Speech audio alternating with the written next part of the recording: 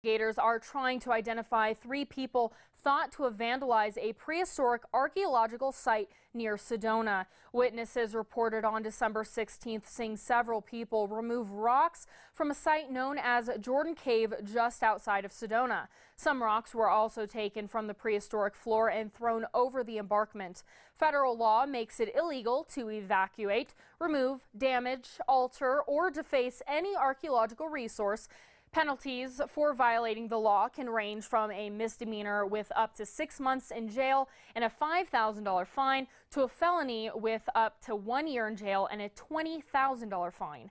Anyone with information regarding this vandalism should contact the U.S. Forest Service officer Mike O'Neil at 928 203 7512.